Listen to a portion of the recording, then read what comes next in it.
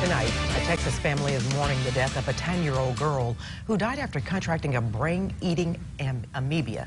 It's kind of a strange thing. Yeah, uh, Lily Mae Avant got the amoeba after swimming in a river over Labor Day weekend. Her parents first thought she was sick with a simple virus.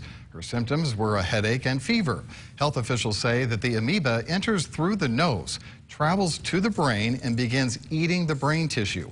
One way to avoid the disease is by avoiding jumping into warm water like lakes. There's also concern about using so-called neti pots, but the doctor says you can relax about that. Anything that uh, exposes to water could potentially causes it, but again, uh, not to frighten everybody, this is a very, very uncommon disease. A lot of people get exposed and not everyone get sick. The CDC says that although contracting the disease is very rare, it's nearly always fatal. There are only five known cases of survival, in fact, and four of them were in the U.S.